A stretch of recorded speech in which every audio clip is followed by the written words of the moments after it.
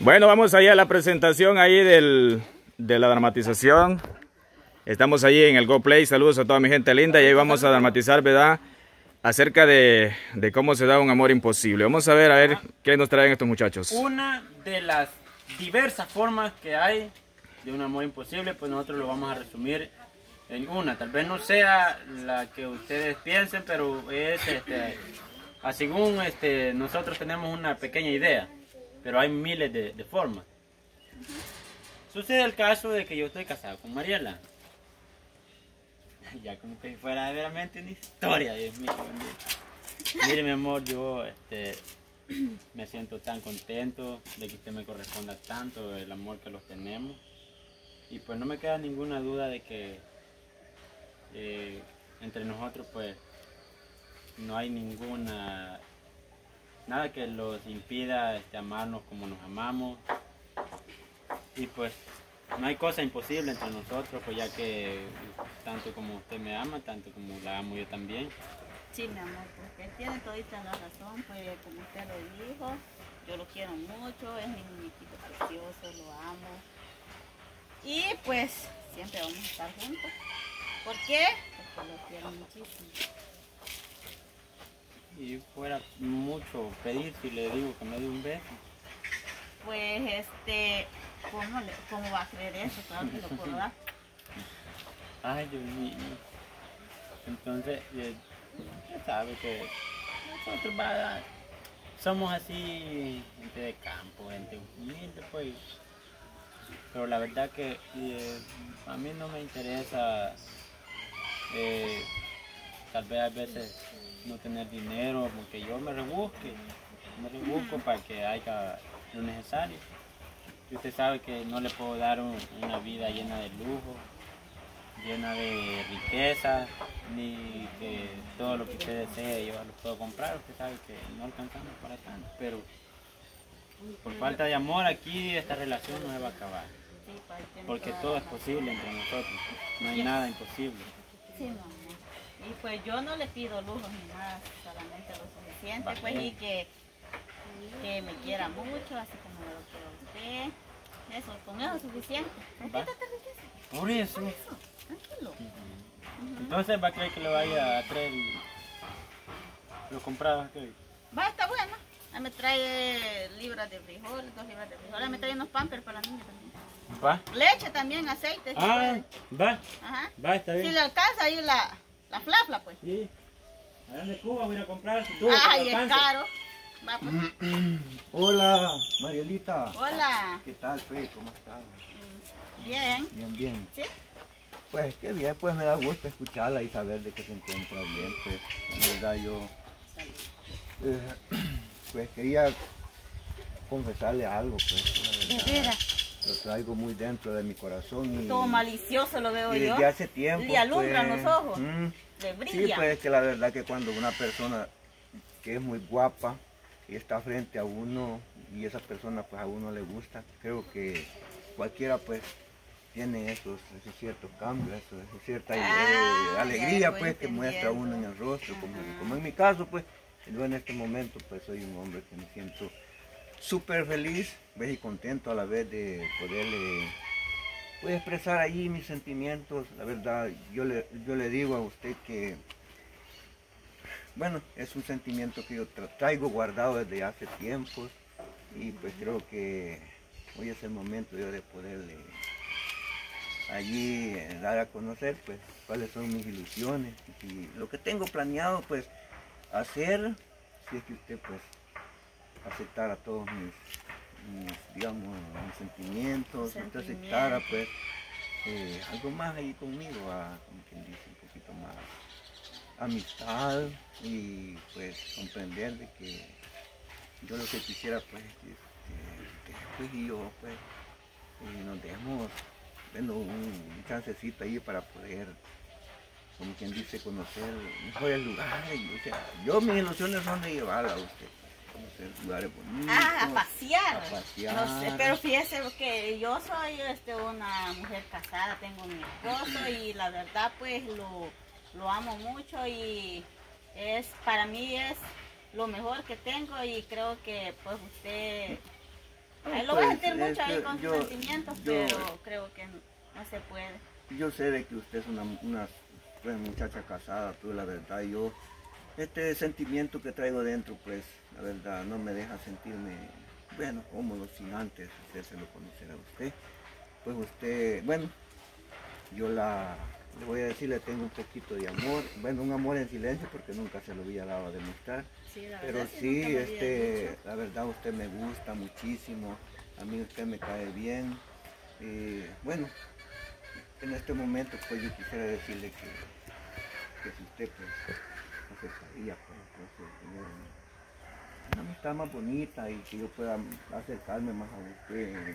La verdad que si yo le diera mi amistad, pues le estuviera este, como dando un poquito de, como una oportunidad para lo que usted me dice que siente por mí, pero yo creo que no puedo ni ser su amiga porque no quiero alimentar un cariño que usted siente a mí porque usted puede equivocar y va a pensar que yo dándole mi amistad pues le, estoy dando una oportunidad y la verdad que no quiero problemas yo con mi esposo. Pues sí, pero imagínese, usted también tiene que saber de que hay muchas muchas oportunidades mejores en la vida, pues usted, usted se merece algo, algo más, mm, más bonito, imagínese. Que usted que no se sintiera bien si yo pues la invitara, pues, a partes como le digo bonitas donde tal vez él, él nunca la ha llevado.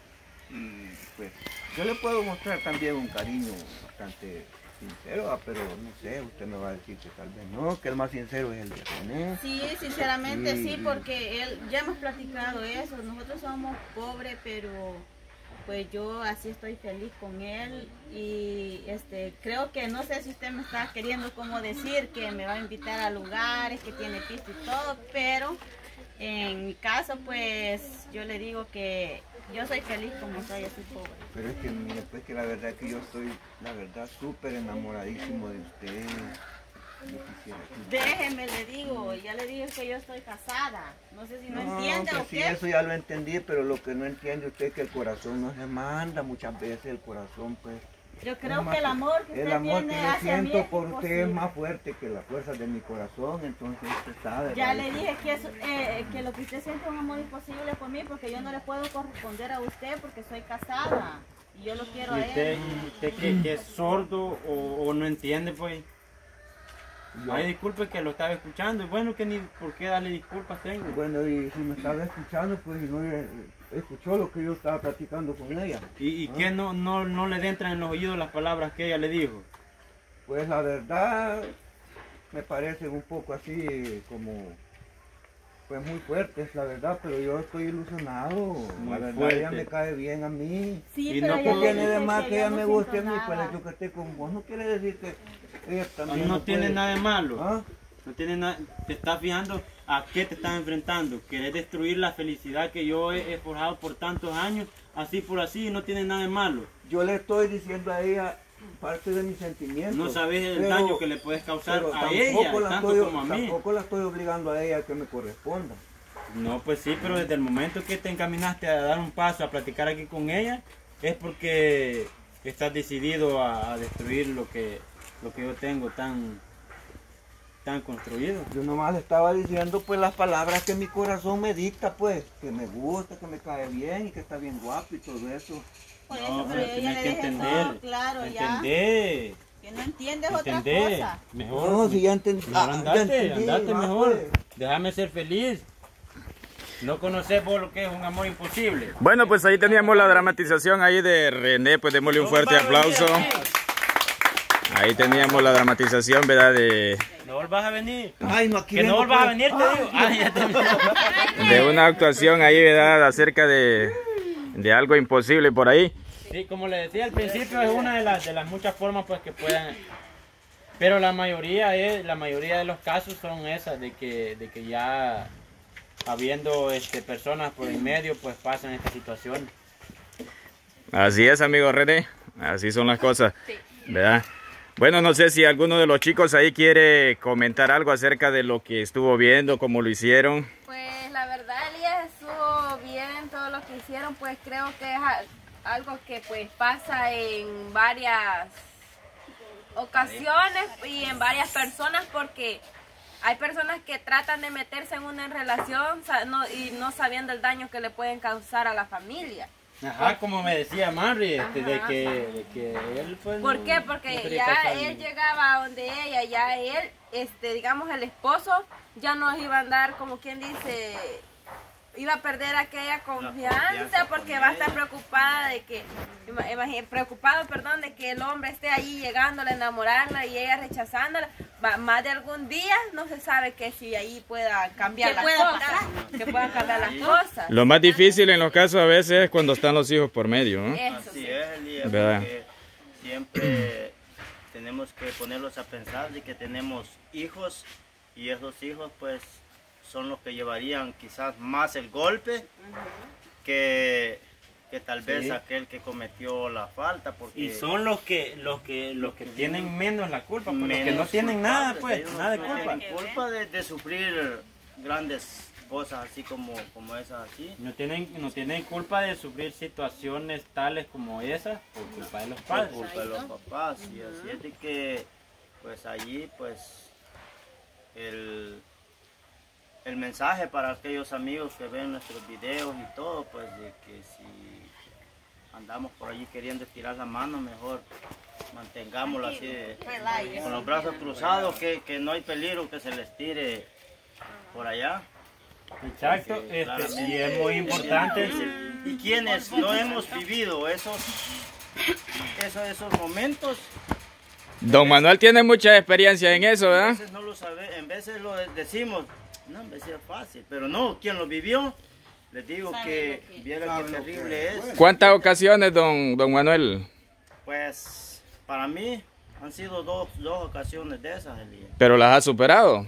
Gracias a Dios sí, fíjese, porque, Eh, lo, lo mejor, pues. porque no, nunca me, nunca me acobardé y nunca dije yo, yo me acordaba de un, de un refrán que me decía mi abuelito. Decía, él, no hijo, me decía, si un clavo con otro se saca, me decía. Y, y en veces yo cuando me pasó el primer caso así, yo me acordaba de, de lo que me decía mi abuelito.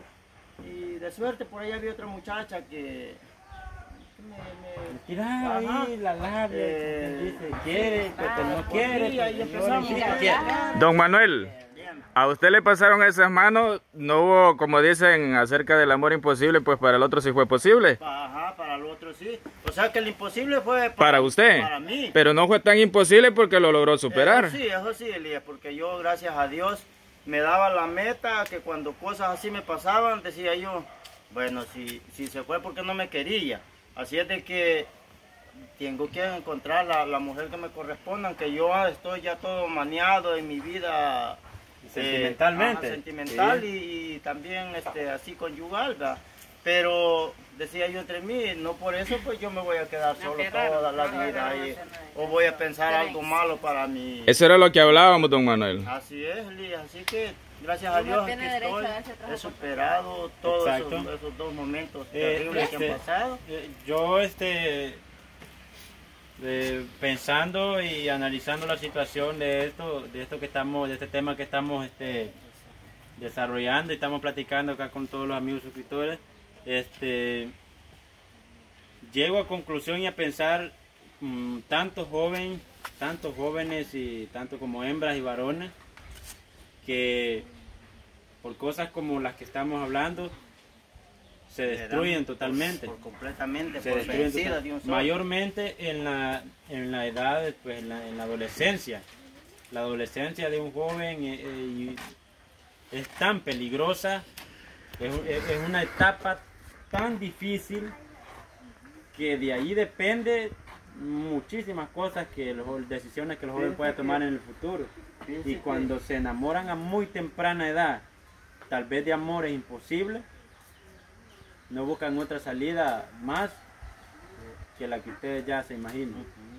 Dice que allá donde yo vivía, cuando me pasó el primer caso ese a mí, sucedieron dos así similares. Pero eh, eran dos um, parejas que eran novios, los cipotes. Vino uno, le dijo a la muchacha que, que se juntaran, que- y ella le dijo que no. Y la rogó y le rogó y ella le decía que no, que esperara. Vino y fue para el pueblecito que había arriba a comprar una pastilla matarrata y ¡pa! Se le- Se le- tomó dos, dos pastillas. Alcanzó a caminar quizás con una instancia de quién de Miguel, de su papá. Sí. Caminó y cayó. Bueno, a los ocho días de ese, el otro, otro cipote, que eran vecinos así, el otro cipote lo mismo sucedió. Le dice la mamá, hijo, si fulana quizás ni te quiere y vos andás ilusionado con ella, y empiezan. Vino se fue para el naranjo también a comprar otra una pastilla siempre y le envolvió en un pedazo de guineo. Él le echó. Ese un solo sopapo. Ese no anduvo con cuentos de nada. ¿Y la, la edad aproximadamente que tenía? Uno andaba como con sus 22 años y el otro como con sus 20 por ahí así. Ah, pues bien, ya Ya está bien. Así es el día que pues como oye, Es muy difícil, sí. y eso es lo que yo les comentaba, que, que hay jóvenes que a lo primero que acuden es a eso, y no es una solución. No, no, hay muchas soluciones. Bueno, muy cierto todo lo que ustedes dicen Cierto, y a veces eh, don Manuel acaba de decir algo muy importante. A veces en vez de, de construir, eh, algo que decía Mincho también, eh, divulgamos las cosas y hacemos más grandes los problemas. En vez de ayudar a las personas, a veces lo que nosotros hacemos es destruirlas, Exacto. ¿verdad? Que vea que Mincho nos estaba saliendo de Y lo que dice don Manuel, ¿verdad? Muy cierto lo que le ha pasado. Cada cabeza, recuerden, es un mundo y cada quien toma sus propias decisiones. A veces nosotros queremos que las personas hagan lo que nosotros decimos, ¿verdad? Sin pensar y conocer a veces los problemas a fondo, cómo viven las familias o cómo viven las parejas o cómo vive cada persona. A veces es, es importante platicar y conocer primero para poder señalar. Como dice Mincho, ¿verdad? A veces le da la confianza y a veces en vez de ayudar, pues se hacen más grandes los problemas. Pero así es el mundo y respetamos la decisión de cada uno de ustedes, cada uno de los amigos, cada una de las familias. Que Dios les bendiga a todos, bendiciones para todos, somos el GoPlay y nos vemos allí. Recordarle a los amigos suscriptores de que no todos nuestros videos son, ¿verdad? Para, para que, que solo pasar chistando, sino que también nos encargamos de... Reflexiones. Reflexiones y, y pláticas de cosas que se viven y que no es nada del otro mundo. Así es de que gracias por estarnos sintonizando y pues eh, nos veremos allí. Saludos a todos, bendiciones, cuídense mucho, pórtense bien, que nada les cuesta, ¿verdad? Hasta el próximo.